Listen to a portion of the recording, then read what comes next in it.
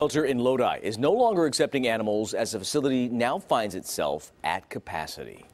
There's been a, a lot of strays out there and um, more animals being brought. So officers say they only have room to house 15 cats and about two dozen dogs. But since the new year, that number has grown. CBS 13's Carlos Correa is in Lodi to show us inside.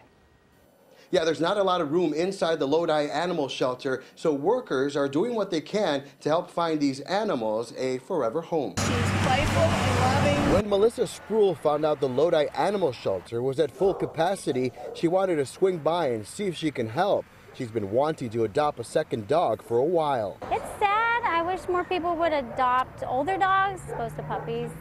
Uh, a lot of people tend to go for the puppies. Workers are making some rearrangements to their setup to prevent the animals from being euthanized. The small dogs are now paired up in one large cage. So are the cats. There's also an urgent call to the community. Yeah, I like uh, Titus. He's been here for a while, so we're going to check her out.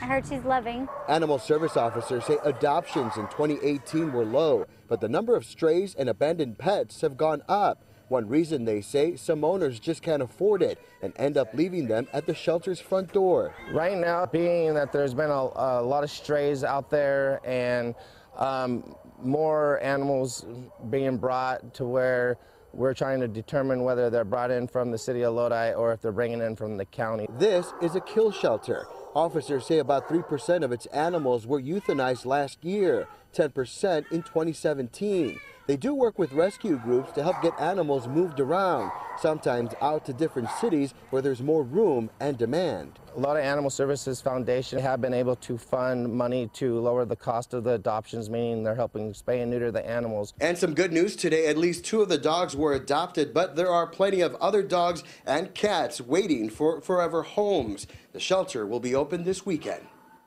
All right, Carlos, thank you. So the animals find homes right now.